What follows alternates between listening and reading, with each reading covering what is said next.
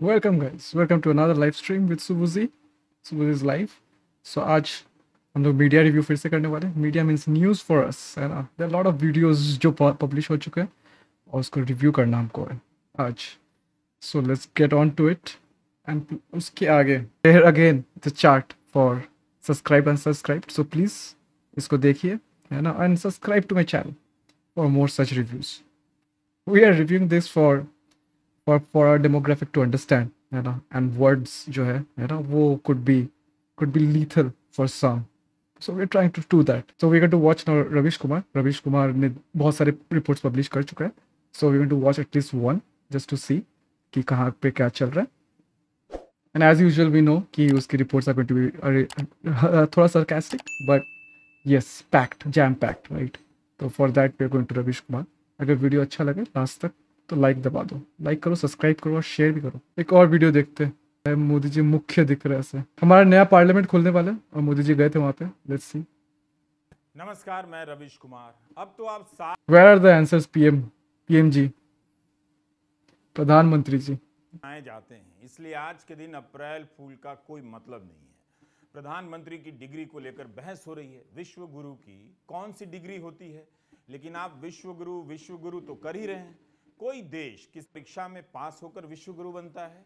क्या कर लेने पर कोई देश विश्व गुरु बन जाता है? क्या आपको पता भी है? जब यही पता नहीं है कि विश्व गुरु क्या है तो डिग्री जानकर क्या करेंगे?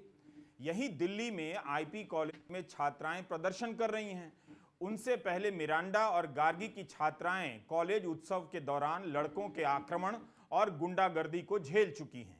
मीडिया रिपोर्ट है कि लड़के लड़कियों के कॉलेज में घुसकर नारे लगाते कॉलेज की छात्राओं ने इसके खिलाफ प्रदर्शन किया। प्रिंसिपल से इस्तीफा मांगा है, लेकिन क्या हो रहा है? गार्गी कॉलेज में गुंडागर्दी करने वालों का ही क्या हो गया?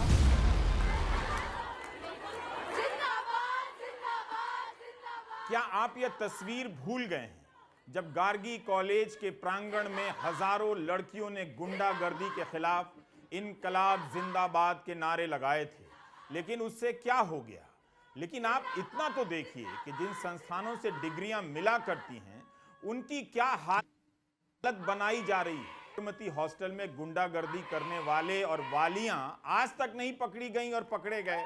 इसे लेकर इस जबकि जबकि ये है कि अ, जो भी गुंडागर्दी किया जेएनयू में है ना और उनके उनके फ़ोटोज़ वीडियो सब सब ऑनलाइन हो चुका था। पुलिस उसको छू भी नहीं पाया ऐसा। दिल्ली दिल्ली है हमारा ऐसा। दिल्ली में कोई बहस नहीं है। प्रधानमंत्री की डिग्री को लेकर बहस ज़रूर है।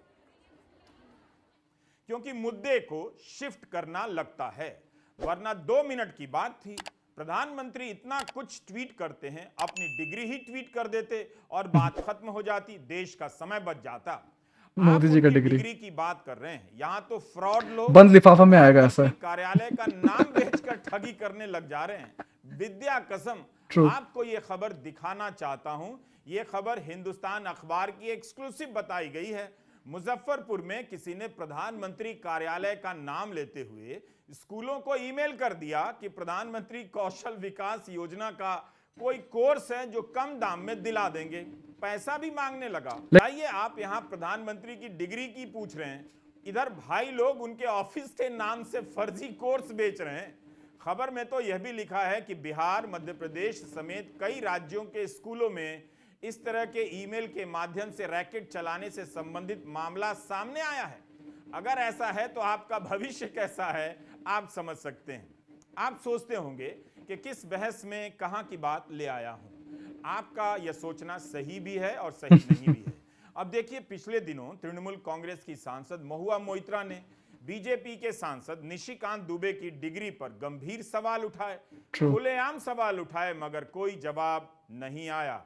जब आप एक सांसद की कथित रूप से फर्जी डिग्री के आरोप पर तो why why is it so important कि है ना मोदी जी का डिग्री या फिर कोई भी पार्लियामेंट्री मेंबर्स के degree is so much important because अगर आपने आपने ईसी को है ना इलेक्शन कमीशन को गलत जानकारी दिया अपने डिग्री के बारे में उसका मतलब आप जनता को बता रहे हो कि आपका जो डिग्री है उसके बारे में आपने झूठा बताया तो उससे आपका सदस्यता रद्द हो सकती है। तो it's very important check this जवाब नहीं पाते हैं।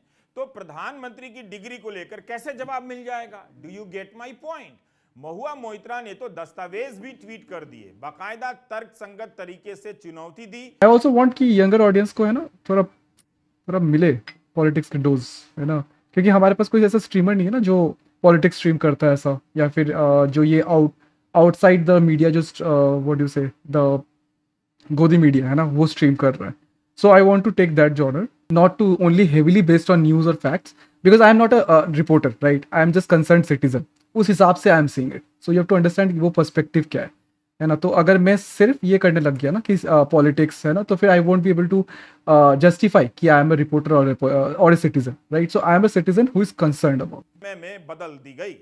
आप पहले निशिकांत दुबे की डिग्री जाँच कर दिखा दीजिए। मुझे पूरा भरोसा है। उसके बाद तुरंत ही प्रधानमंत्री अपनी डिग्री दिखा देंगे।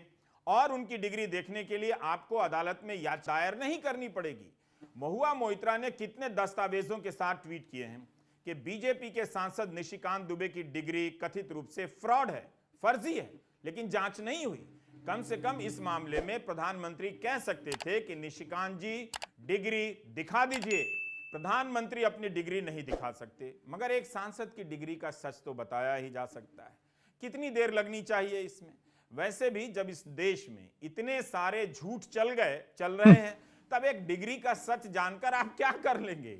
ये वो नेशन है जो कभी नो के नाम पर वांट किया करता था। अब तो जब नेशनवे वांट वांट नहीं कर रहा है नेशनवे तो क्यों वांट वांट किए जा रहे हैं कि डिग्री देखेंगे? बात समझिए we all know nation wants know तमाम दुल्हनों से शादी के पहले और बाद में दूल्हे की डिग्री पता करना इस देश में कितना मुश्किल काम है।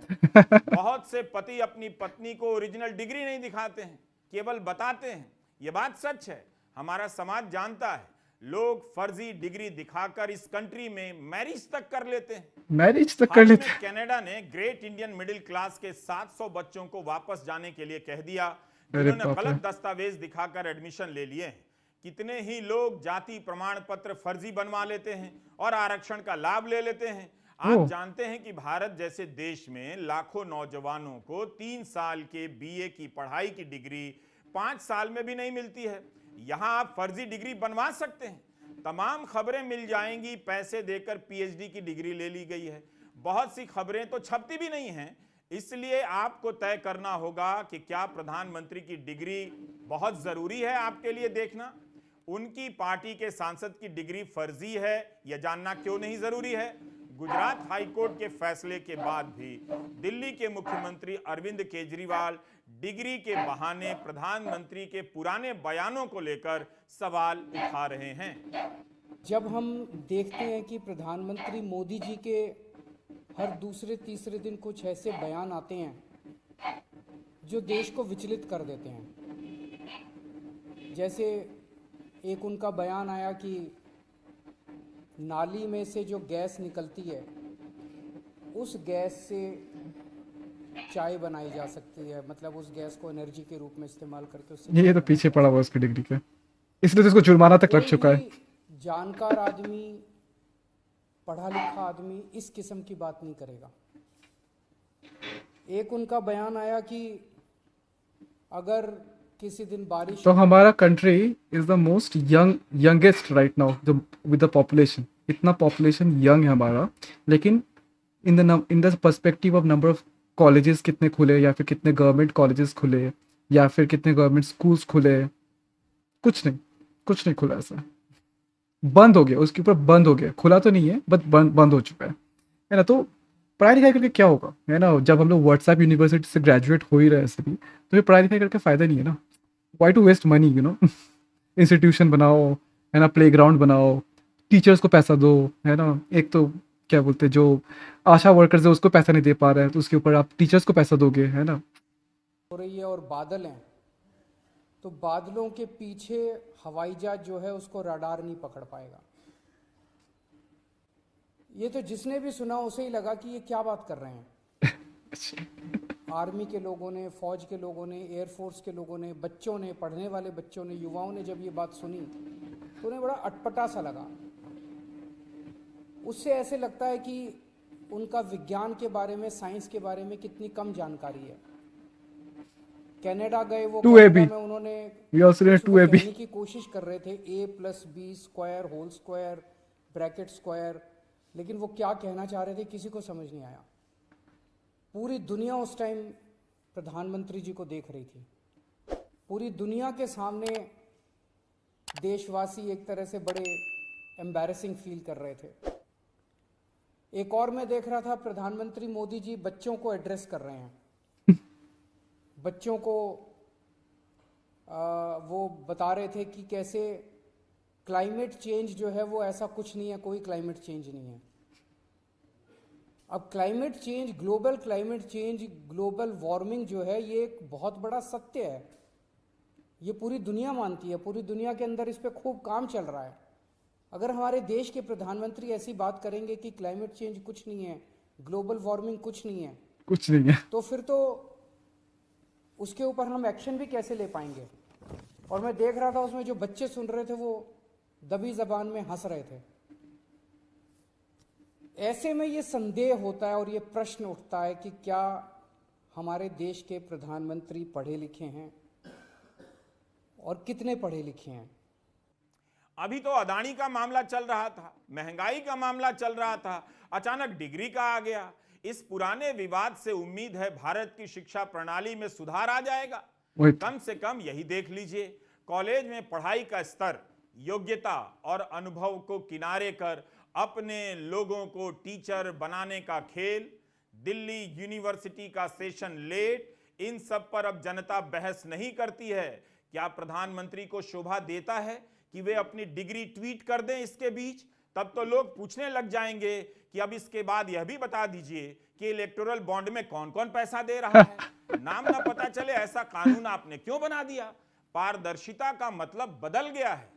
इसका नया मतलब है उस पार की सूचनाओं का दर्शन कभी नहीं होगा। आप घंटी बजाते रह जाएँगे। यह उनके लिए शोभा भी नहीं देता कि अपनी डिग्री ट्वीट करें। शिकायत तो उनके क्लासमेट से होनी चाहिए जो उनके साथ स्कूलों में पढ़े कॉलेज में पढ़े उन्हें अपनी यादें साझा करनी चाहिए थी। सही बात है। ट्विटर पर लोग पूछ भी रहे हैं जहाँ से उन्होंने पढ़ाई की उनके क्लासमेट तो होंगे ही। रहे हैं, questions. तो हम क्या करें? वरना तो प्रधानमंत्री के साथ पढ़े लोग कितने गर्व के साथ रीयूनियन की तस्वीरें खिंचाते हैं। फेसबुक पर लिख रहे होते ये लोग। अब उन्हें ये गर्व नहीं करना है। तो एक उनकी profile भी चाहिए। मेरी कैसे हो सकती है?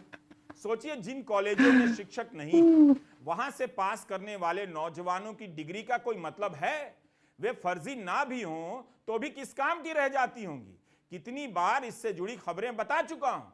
क्या नौजवान सड़क पर आ गए? या कोचिंग इंडस्ट्री में जाकर खप गए।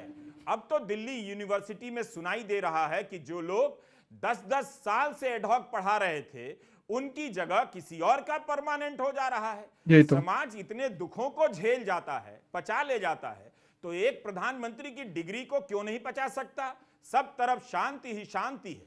जो 10 साल से पढ़ा रहा था तब लायक था लेकिन परमानेंट करने का टाइम आया तो है क्या मोदी जी का लिंक्डइन प्रोफ़ाइल उसमें थोड़ा रिकमेंडेशंस है ना? वो है क्या? लायक नहीं रहा। दिल्ली विश्वविद्यालय में वर्षों तक एडहॉक पढ़ाने वाले इस समय लोकतंत्र न्याय इन सब के बारे में किस तरह से सोच रहे होंगे? Are you serious Modi ji का LinkedIn profile then I want to check it क्या हो रहा है? कैसे हो रहा है? इस पे सारी चर्चाएँ गुप्त रूप से हो रही हैं।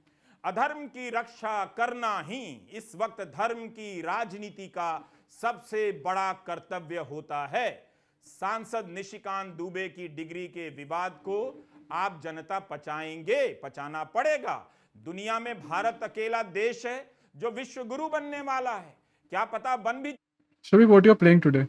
Or you're playing something. चुका हो इस विश्वगुरु भारत की यूनिवर्सिटी के वाइस चांसलर की भी खबरें दिखाना चाहता हूँ। फिर डिग्री की बहस करते रहिएगा। यह खबर थोड़ी पुरानी है, मगर प्रधानमंत्री की डिग्री विवाद को ठीक से समझने में मदद कर सकती है। दैनिक भास्कर में पाँच महीने पहले छपी है कि doctor APJ Abdul Kalam technical university के पूर्व कुलपति पर एफआईआर कानपुर के छत्रपति शाहू जी महाराज विश्वविद्यालय के कुलपति विनय पाठक पर एफआईआर हुई। एसटीएफ करेगी जाँच। चार महीने पहले भास्कर में छपी इस खबर को आप कैसे समझेंगे? लिखा है, भ्रष्टाचार के मामले में अलग अलग हुई कार्रवाई। पूर्व कुलपति अशोक मित्तल को शिकायत पर ही हटा दिया गया।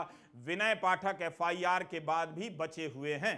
इस साल 10 जनवरी को जागरण में यह खबर छपी है कि कानपुर विश्वविद्यालय के कुलपति विनय पाठक के विरुद्ध सीबीआई जाँच आरंभ कर रही है। इनके खिलाफ तो ईडी की भी जाँच हो रही है। बताइए ये कैसे कुलपति हैं कि इनके पीछे राज्य की एसटीएफ लगी है केंद्र की सीबीआई और ईडी लगी है? ये खबर तो सार्वजनिक है लेकिन बाकी जो नहीं है वहाँ ऐसा नहीं होता हो आप दावे के साथ नहीं कह सकते इस कंट्री में। हम आपको बता दें कि मध्य प्रदेश में वाइस चांसलर को हिंदी में कुलपति कहा जाता था लेकिन पिछले साल वहाँ के राज्यपाल ने कुलगुरु कर दिया। अब वहाँ कुलपति जी कुलगुरु कहलाएँगे। बाकायदा कैबिनेट ने इसे मंजूरी दी है। कुलपति से कुलगुरु बनने में में? राज्य के शिक्षा के स्तर में क्या बदलाव आया है यह तो छात्र ही बता सकते हैं। क्या ही मतलब यहाँ है एक मेडिकल साइंस यूनिवर्सिटी है। पिछले दिनों इस पर आरोप लगे कि फर्जी तरीके से छात्रों को यहाँ पास कराया जा रहा है। कितने लोग इस देश में फर्जी तरीके से डॉक्टर बन गए आपको पता नहीं है? क्या व्यापम आपको पता नहीं है? और आप प्रधानमंत्री की डिग्री पूछ रहे हैं? वही तो।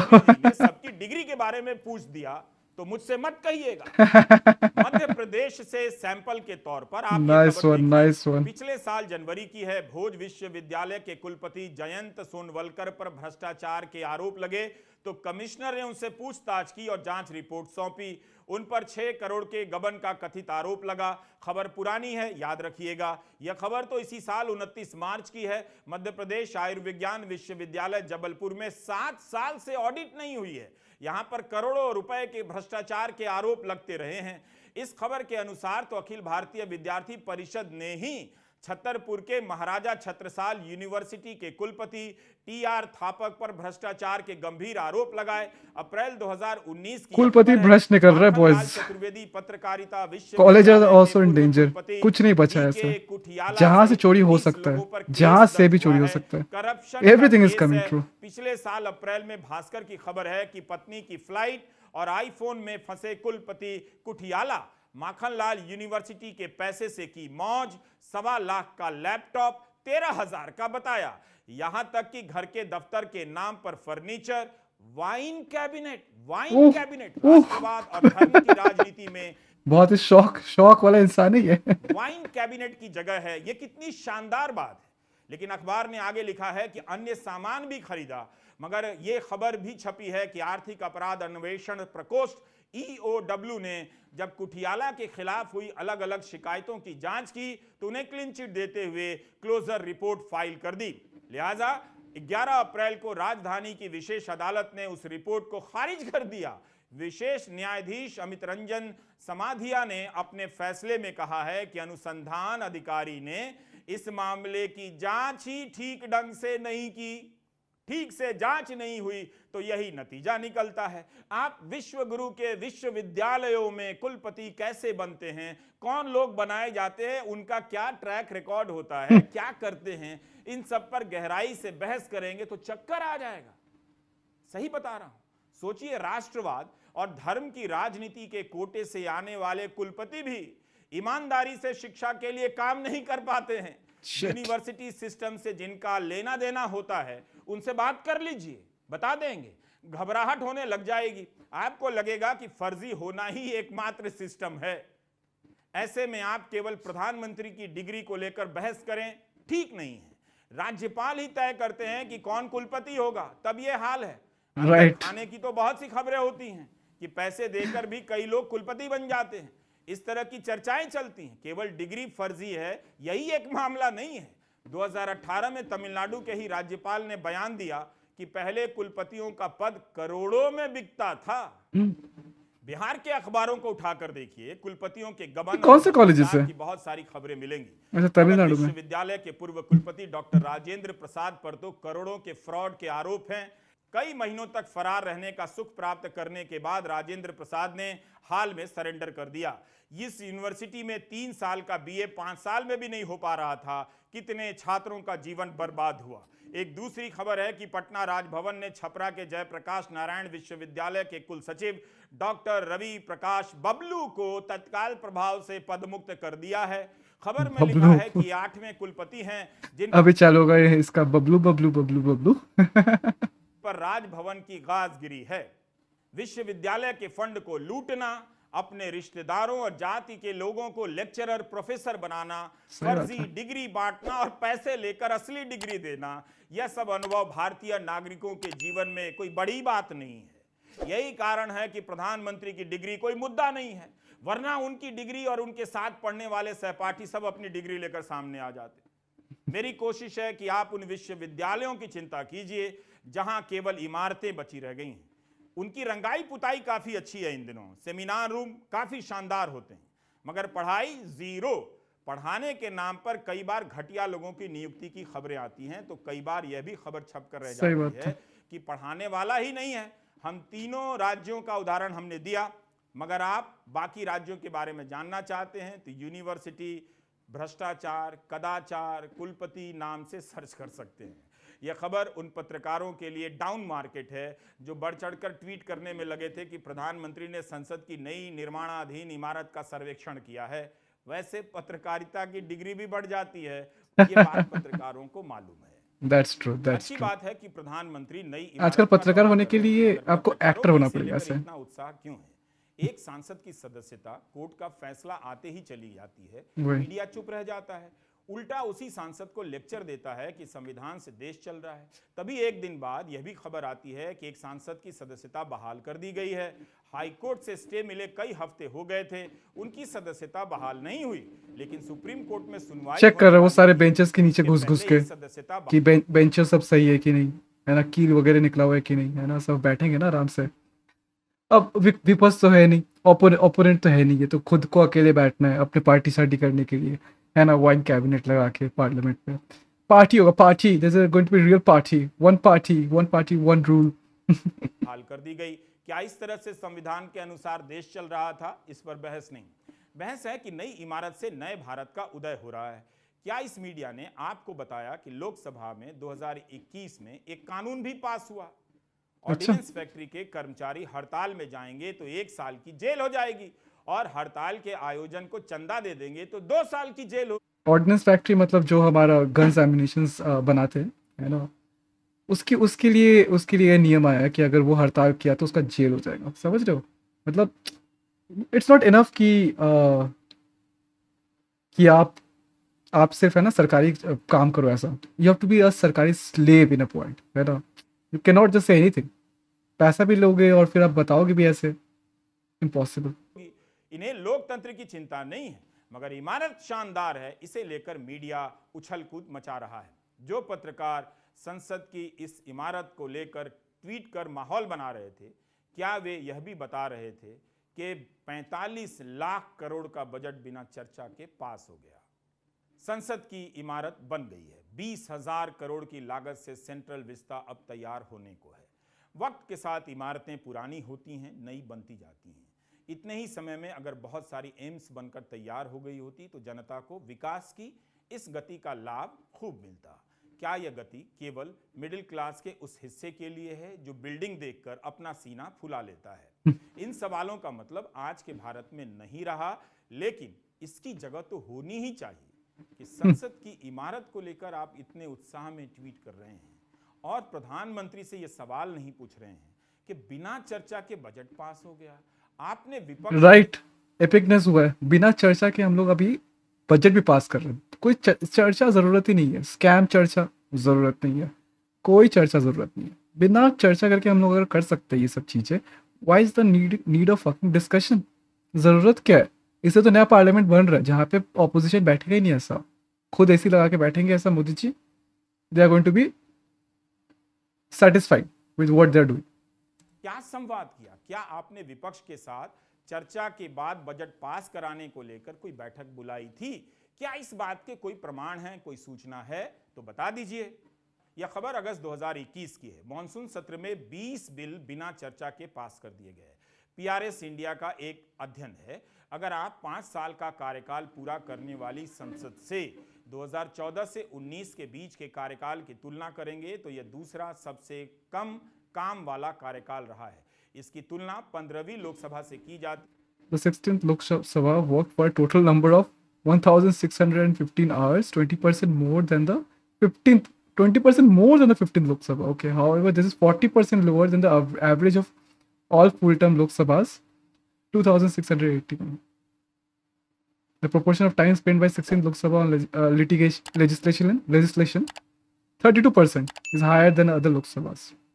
है और बताया जाता है कि 20 प्रतिशत ज़्यादा काम हुआ, मगर सभी पूर्णकालिक लोकसभा के औसत कामकाज को देखेंगे तो यह 40 प्रतिशत कम है। सोलहवीं लोकसभा में विधेयकों पर ज़्यादा काम हुआ है, मगर इसमें भी एक पेंच है। हर बिल संसद की कमेटी में चर्चा के लिए भेजी जाती है। प्रायः चौदहवीं और पंद्रहवीं लोकसभा में जितने भी बिल पेश हुए, उनमें से 60 से 70 प्रतिशत बिल लोकसभा की कमेटियों में चर्चा के लिए भेजे गए। मगर सोलहवीं लोकसभा में यह प्रतिशत घटकर 25 पर आ गया। यही नहीं, बजट का तिरासी फ़ीसदी हिस्सा बिना बहस के पास कर दिया गया। कहने का मतलब है, कानून बनाने की संसद की इस अहम प्रक्रिया का महत्व घट गया। इसे लेकर कोई ट्वीट नहीं है बिल्डिंग को लेकर उत्साह है सेल्फी खिंचाते रहिए। इसे भी नोट करें कि सोलहवीं लोकसभा में बजट का तिरासी प्रतिशत हिस्सा बिना चर्चा के पास हुआ। 2023 से 24 के बजट का 100 फ़ीसदी हिस्सा बिना चर्चा के पास हुआ। आर्टिकल 107 में लिखा है कि बिना दोनों सदनों की बहस की सहमति के कुछ विशेष बिलों के अलावा कोई बिल पास नहीं हो सकता। जब तक बहस नहीं होगी, आप सहमति या असहमति के बारे में जान नहीं सकते। तो एक तरह से इस आर्टिकल का कितना उल्लंघन हो रहा है, पालन हो रहा है, इस पर कोई शोक नहीं, इस पर कोई शोर नहीं। शोर है कि नई इमारत बन गई है। एक नया ट्रेंड है, अस्पताल बनाने के नाम पर भव्य इमारतें बहुत जल्दी बना दी जाती हैं। आप कहीं भी चेक कर लीजिए, क्योंकि इमारत जल्दी बन जाती है, मगर डॉक्टर आने और पूरा विभाग चालू होने में कई साल लग जाते हैं। यह भी आप कहीं भी चेक कर सकते हैं। इसलिए आप देखेंगे कि इमारतों पर बहुत ज़ोर रहता है। अब तो भीड़ देखकर प्लेटफॉर्म टिकट भी पचास रुपए का कर दिया जाता है। वही तो। दिनों में वैसे दस रुपए का ही मिलता है। इन दिनों रेल मंत्री के ट्विटर हैंडल से रेलवे स्टेशन के बहुत से एनिमेशन वाले वीडियो ट्वीट किए जाते हैं। कई ट्वीट में लिखा रहता है कि प्रस्तावित है। यही तो है हमारे न्यूज़ रूम में जितने भी जितने भी एडिटर्स है या फिर जितने भी रिपोर्टर्स है वो सारे इसी पे तो बचे हुए कि हमारे थ्री डी आर्टिस्ट या फिर जो हमारे फोटोशॉप वाले हैं ना वो कुछ करके देंगे तभी जाके रिपोर्ट निकलेगा ऐसा। तो हमारे मंत्री लोग भी तो वही कर रहे हैं।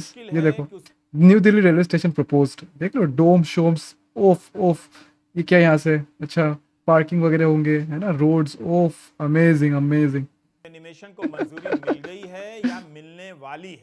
रेलवे स्टेशनों का ये देखो फोटोशॉप फोटोशॉप ब्रोस है ना? Redevelop platforms area with all model passenger ameni- amenities and digital transformation. Oof oof oof. Escalators और वाईफाई और क्या है यहाँ पे?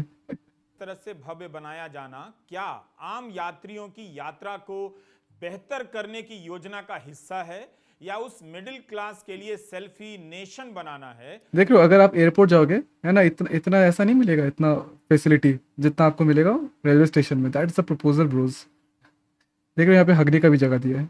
मोदी जी आके हगेंगे यहाँ पे। हर वक्त फ़ोटो खींचने के लिए कोई कोना खोजता रहता है। यह सवाल आपको विकास विरोधी लगेगा मगर कोई भी विकास सवालों से परे नहीं होता ये कौन सा स्टेशन है? स्टेशन की इमारतों को लेकर सरकार जल्दी में दिखने लगी है। क्या ये तो मंदिर ही बन गया, यूपी में होगा, लोगों प्रभावित करने की कोई योजना है कि बहुत कुछ हो रहा है? क्या इन स्टेशनों की तरह रेल यात्रा के उनके अनुभवों को भी शानदार किया जा रहा है? तब फिर हमें बात करनी चाहिए कि इन अनुभवों में किसकी आवाज़ है? आम आदमी की आवाज़ है या नहीं? रेलवे का किराया अब मुद्दा नहीं है। इसकी तो बात ही नहीं होती। किराया तो बहुत बढ़ चुका है। रुपए का सिलेंडर खरीदने वाली जनता के पास विकल्प ही क्या है? वही रेल तो। के महँगे होने का असर देखना है तो आप उन बसों में सफ़र कीजिए जो स्लीपर बसें कहलाती हैं। इस जगह की भीड़ बता रही है कि आम रेल यात्रियों की ज़िंदगी में क्या सुधार हुआ होगा? किसी भी एंगल से आप दिल्ली के आनंद विहार को देख लीजिए। ज़मीन से लेकर आसमान तक में इसका बेतरतीबपन आपको बताएगा कि इन यात्रियों का हाल लेने वाला शायद कोई नहीं। हम आपको आनंद विहार इसलिए ले आए हैं ताकि आपसे एक सवाल कर सकें। सवाल यह है कि इन स्लीपर बसों का अस्तित्व में आना क्या कुछ भी नहीं कहता? अगर गरीबों के लिए पर्याप्त संख्या में ट्रेनें चलाई गई होती तो लोग इन बसों से लंबी दूरी की यात्रा तय कर इवन अभी तो सीनियर पैसेंजर्स का जो रिबेट मिलता था वो भी तो हटा दिया गया ऐसा। कुछ सब हटा दिया ऐसा। आपका आपका सैलरी दुगना हो या ना हो खर्चा आपका दुगना तिगना हो चुका है ऐसा। दिल्ली से मोतिहारी या दरभंगा क्यों जाते? इतनी लंबी दूरी की यात्रा इन बसों से करना आसान नहीं।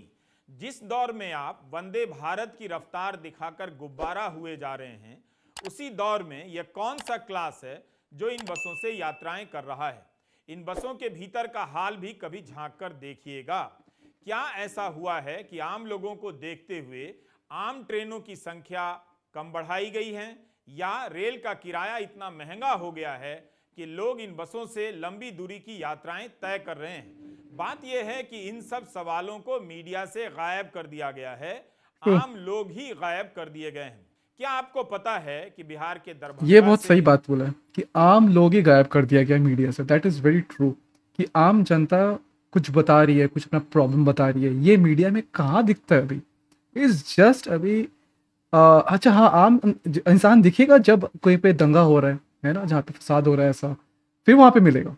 और वो भी वहाँ पे इतना जल्दी माइक हटेगा अगर आपने कुछ बता दिया कि है ना गवर्नमेंट ने किया या फिर पुलिस ने काम नहीं किया, है ना, कुछ भी बताओगे ऐसा तो माइक आपके आपके चेहरे से इतना जल्दी हटेगा कि स्पीड ऑफ़ लाइट जो है, वो शर्मा जाए उसके आगे। सुपौल से, मुजफ्फरपुर से और मोतिहारी सहित कई जिलों से हर दिन करीब 100 बसें दिल्ली की तरफ़ रवाना होती हैं। मोतिहारी का स्टेशन भी कम चमकदार नहीं है, लेकिन यहाँ से लोग बसों में भरकर दिल्ली तक की यात्राएँ कर रहे हैं। नए भारत को यह तस्वीर दिखा दीजिए। यहाँ से दिल्ली तक की यात्रा इन स्लीपर बसों में की जा रही है। ये आम लोग हैं जो मजबूर हैं 14 से 16 घंटे तक इन बसों में यात्रा करने के लिए। आमतौर पर एक बस में 42 सीटें निर्धारित हैं और चंपारण से लगभग 10 बसें हर दिन दिल्ली की ओर कूच करती हैं। तो इस प्रकार एक महीने में इन बसों से 12,000 यात्री दिल्ली पहुँचते हैं। पंकज ने लोगों से बात कर एक अनुमान लगाया। उनका कहना है कि इसकी वजह नाउ रिपोर्टर्स। कॉरेस्पॉन्डेंट्स वो रेलवे जरूरतों को पूरा नहीं कर पा रही है। पंकज ने बताया कि मोतिहारी से दिल्ली सात ट्रेनें दी गई हैं। इनमें से हर दिन एक ही ट्रेन नियमित है जो मोतिहारी से दिल्ली जाती है जबकि ज़िले की आबादी करीब 12 लाख है। क्यों मोतिहारी से हर दिन एक ही नियमित ट्रेन है? इसके अलावा छः ट्रेनें हैं जो सप्ताह में सिर्फ़ एक या दो दिन ही दिल्ली जाती हैं। प्रतिदिन दिल्ली जाने वाली सप्त क्रांति सुपर फास्ट एक्सप्रेस हर दिन करीब एक हज़ार यात्रियों को लेकर दिल्ली जाती है। वहीं साप्ताहिक ट्रेनों से 300 से 500 लोग जाते हैं। ज़ाहिर है, लोग इन बसों में ठेलाकर, ठुसाकर यात्राएँ करेंगे ही। क्या रेल मंत्री इन तस्वीरों को ट्वीट कर सकेंगे? इन बसों के योगदान को भारत की विकास यात्रा में जोड़ पाएँगे। जो नमस्ते बस है इससे आप लोग कहाँ जा रहे हैं? तो बस से जा रहे हैं ट्रेन से क्यों नहीं गए? ये कॉरेस्पॉन्डेंट न्यूज़ नाइस अच्छा कितने दिन से ट्राई कर रहे थे? और ट्रेन में टिकट नहीं मिला। तो इस कारण बस आप इस कारण बस ये बस से जा रहा हूँ कितने मतलब कितना घंटा का जर्नी होता है ये? आप पहली बार जा रहे हैं। पहली बार जा रहे हैं। कहाँ के रहने वाले हैं? आ, से अच्छा पहली बार आप पहली बार दिल्ली जा रहे हैं? जा रहे हैं। क्यों? सुविधा है। सुविधा है इसलिए जा रहे हैं। कैसा सुविधा है? सुविधा टिकट ट्रेन में नहीं मिल रहा है इस वजह से इसमें पैसा? है तो सुविधा और क्या सुविधा होगा? ट्रेन में? किराया भी कम है किराया भी ज़्यादा नहीं है कितना किराया लगता है? छः सौ रुपये लगा। अच्छा ट्रेन में टिकट नहीं मिला? ट्रेन में टिकट नहीं मिला। कितने दिन से ट्रेन में प्रयास कर रहे थे टिकट नहीं मिला? प्रयास तो भी पंसात्रों से कर रहे हैं। पंसात्रों से कर रहे हैं नहीं मिला था इसके बाद तो इसमें तो पेशाब वगैरह पेशाब रोकेंगे ये लोग होटल पर रुकते हैं इस वजह से हम लोग मतलब वहाँ पर पेशाब सब लोग करेंगे हल्ट करते हैं अगर आम लोगों के लिए रेल सुविधाएँ बेहतर हुई हैं तो स्लीपर बसों की भरमार क्यों है? यह सवाल चमकदार स्टेशनों की तस्वीरों के आगे दबा दिया जाता है। जरा सोचिए क्यों वंदे भारत पर इतना ज़ोर है? इसका एक जवाब तो यही है कि मिडिल क्लास के एक वर्ग को विकास का आकर्षक चेहरा दिखाया जा रहा है। ताकि वह सीना फुला सके और इसे देखकर बाकी लोग झांसे में लाए जा सकें कि यह सुविधा उन्हें भी मिल सकती है, जबकि उनके लिए नहीं है। वंदे भारत का टिकट बहुत महँगा है। अब तो होली, छठ या गर्मियों में रेलगाड़ियों की हालत पर रिपोर्टिंग बंद सी हो गई है। चैनलों के रिपोर्टर जनरल क्लास में यात्राएँ करके हाल नहीं बताते हैं कि आम लोग किस तरह से दिल्ली से पटना या दिल्ली से वो ये कि आम लोग गायब हो चुके ना, मीडिया से। गायब ही हो चुके हैं आम लोग। आम लोग का सिर्फ़ पिक्चर तभी आता है जब सिर्फ़ दंगा होगा। तभी वो जाके पूछेंगे कि हाँ क्या हुआ, क्या नहीं हुआ, है ना? दैट्स इट और ये तो जनता से बातचीत तो मीडिया का बंद ही हो चुका है। जा रहे हैं। व्हाट्सएप यूनिवर्सिटी में फैलाई जा रही फेक न्यूज़ और फर्जी इतिहास को सच मानने वाले वर्ग में एक बड़ा वर्ग बुज़ुर्गों का भी है। इन बुज़ुर्गों को कभी रेल टिकट पर छूट मिला करती थी। या वो सीनियर 20 मार्च 2020 को एक झटके में समाप्त कर दी गई। तीन साल से ये बुज़ुर्ग बिना छूट के रेल यात्राएँ कर रहे हैं। सीनियर सिटीजन होने की पहचान रेल टिकट में छूट से भी मिला करती थी जो समाप्त कर दी गई। रेल मंत्री ने लोकसभा में यही कहा है कि वर्ष 2019-20 के दौरान वरिष्ठ नागरिकों को यात्री किराए में रियायतों के कारण लगभग सोलह करोड़ रुपए के राजस्व की हानि हुई है। यानी पहले जो सब्सिडी दी जा रही थी वह राजस्व हानि है। व्हाट्सएप यूनिवर्सिटी के तो ये राजस्व हानि हम लोग सत्तर साल से झेल के आए ऐसा और मोदी जी सात साल नहीं झेल पाया ऐसा। लाने वाले हमारे बुज़ुर्गों को एक काम करना चाहिए। पहले जितनी क्योंकि हमें पता है कि रेलवे जब चलता है रेलवे लॉस पे ही चल रहा है है ना? We know this for a fact है ना? बट उसको प्रॉफिट पे लाना is not is not the thing और अ मिशन कि है ना कि आपने टिकट का दाम बढ़ा दिया। और उसके ऊपर अगर आप रेलवे स्टेशन बेचने लग गए प्राइवेट को और स्टेशन ही स्टेशन बेचने लग गए तो फिर देखो, है ना टिकट के प्राइस कहाँ पहुँचेंगे ऐसा। छूट उन्होंने ली है, सरकार को वापस कर देनी चाहिए। देश विश्व गुरु बन रहा है। संसद की नई इमारत और रेलवे स्टेशन को भव्य बना देना, इससे प्रचार अच्छा होता होगा। या बहस और यात्राओं की गुणवत्ता में भी सुधार होता होगा। यह एक खुला प्रश्न है जिस पर आप 20 साल बाद विचार कर पाएँगे। अभी आपका परम कर्तव्य यह तय हुआ है कि हर तरह के अधर्म का धर्म की राजनीति के नाम पर बचाव करना है। वो आप काफ़ी बढ़िया कर रहे हैं। हर दिन करोड़ों लोग रेल यात्राएँ करते हैं। पहले इनकी आँखों में बुलेट ट्रेन के नाम से चमक पैदा की गई।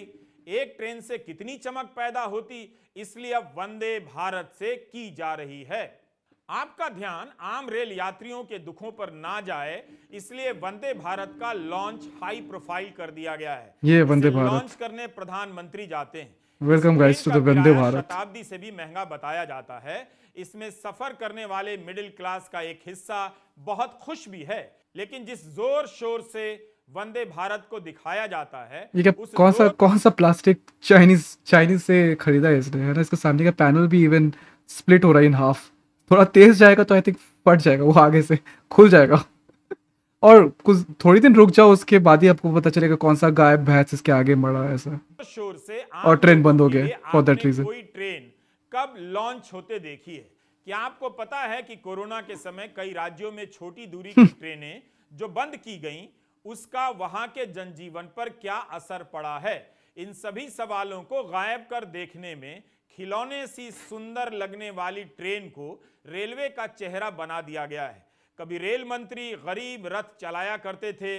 आपने प्रधान कितना बार इसका उद्घाटन होगा वो तो देखो। के लिए किसी ट्रेन को लॉन्च करते कब देखा? इस वंदे भारत को लॉन्च करने की कितनी जल्दी है आप देखिए। 2022-23 में 35 वंदे भारत की रेक्स बननी चाहिए थी। बनी केवल आठ। यह संसद की स्थायी समिति की रिपोर्ट है जिसके अध्यक्ष बीजेपी के ही सांसद राधा मोहन सिंह हैं। एक मार्च 2023 को यह रिपोर्ट पेश हुई है। रिपोर्ट लिखे जाने तक आठ रेक्स ही बन पाई थी जबकि लक्ष्य था 35 गाड़ियों के बनाने का। यह सवाल मोदी सरकार के लिए महत्वपूर्ण है। क्योंकि वह समय पर लक्ष्य पूरा करने का दावा और दंभ भरती है। राधा मोहन सिंह की अध्यक्षता वाली कमेटी ने कहा है कि रेलवे के लिए लक्ष्य पूरा करना आसान नहीं होगा। मेरा सवाल है कि इस ट्रेन को लेकर क्या आपको बताया जाता है कि बाकी ट्रेनों की क्या हालत है? मुद्दों को लेकर जनता को काफ़ी भटकाया जा चुका है। ज़रूरी सवालों से आबादी के बड़े हिस्से को धक्का देकर बाहर कर दिया गया है। उस पर हर दिन सांप्रदायिक मुद्दे थोपे जा रहे हैं। करते रहिए हिंदू मुस्लिम। आपका जीवन असुरक्षित होता जा रहा है लेकिन धर्म का खतरा पैदा किया जा रहा है। प्रधानमंत्री बट लुक एट दिस कि हमारा नया टॉय ट्रेन नया ना जो चल रहा है व्हाइट कलर का प्लास्टिक कार है ना? So check this check this bro पर फाइन हो जाता है। पोस्टर लगाने पर एफआईआर हो जाती है। बिना चर्चा के बजट पास हो जाता है। संसद की नई इमारत पर सीना फुला लिया जाता है। नई इमारतों को देखकर इतना भी मत इतराइए जैसे इस तरह की इमारत कभी देखी ना हो। दुनिया में पहली बार नहीं बनी है। इसकी चिंता कीजिए। जैसे for instance same same argument जो मैं दिल्ली में सुन है ना? और वो मैं यहाँ पे हावड़ा में सुन रहा हूँ है ना? आर्ग्यूमेंट क्या है कि मोदी जी ने मोदी जी ने आ, मंदिर बना दिया। जबकि मोदी जी ने तो मंदिर बनाया नहीं अभी तक। और एज इफ़ कि वो मंदिर हमारे जीवन में प्रभाव कर रहा है ऐसा। जो मंदिर खुला तक नहीं है ना? चलो अगर बन भी रहा है ऐसा है ना? जब पहला बात है वो तो एक कि सुप्रीम कोर्ट ने आ, उसका पार, पारित किया तब जाके वो बन सकता है फ़र्स्ट ऑफ़ ऑल कि मोदी जी ने नहीं किया। और उसके ऊपर अगर वो मंदिर अभी तक खुला ही नहीं है तो जीवन प्रभावित कैसे हो रहा है उससे है ना? तो उसका उसका जवाब है कि अच्छा उसका मुद्दा खत्म हो गया ऐसा। और ये जो आर्ग्यूमेंट है, ये आप क्या बोलते हो? गुजरात चले जाओ, दिल्ली चले जाओ, है ना, कोलकाता आ जाओ सेम चीज़ व्हाट्सएप यूनिवर्सिटी में पढ़ाया जा रहा है। तो सब कोई सेम चीज़ ही जान रहा है है ना? फॉर नो सर्टन रीजन है ना? और जो इम्पोर्टेंट चीज़ है मतलब जो भी और रीजंस है, और भी जो भी क्वेश्चन है, वो तो ज़रूरत नहीं जानने का। ऐसा अच्छा चीज़ तो यही हुआ है ना कि दो हज़ार रुपये के नोट जो है मार्केट से मिलना बंद हो चुका है। है ना कि वो सारे ब्लैक होने के लिए यूज़ हो रहा है आजकल। अगर आपको अगर मिल गया दो हज़ार रुपए का note you are very lucky now आपकी आवाज़ जिन मंचों पर उठा करती थी उस मीडिया नाम की संसद का क्या हुआ? पूछेंगे तो जवाब मिल जाएगा। नमस्कार मैं रविश कुमार। नमस्कार नमस्कार रविश कुमार। उफ उफ उफ that was a hot take bros that was a hot take on this awesome bros awesome तो वीडियो अगर अच्छा लगे तो लाइक करो सब्सक्राइब करो। है ना we need to reach 200 very soon है ना सो आई थिंक आई थिंक आप लोग जितना जल्दी हम लोग 200 पहुँच जाएँगे हम लोग फिर नया गेम्स भी खेल पाएँगे और ये पॉलिटिकल रिव्यूज़ आते रहेंगे बीच बीच पे because we are in a in a state of crisis बोल सकते हो है ना our country is facing this very very hard times when when the democracy, when our freedom of speech has been targeted solely, you know. By our one and only leaders. So yes we need to keep a view on them. So meet you later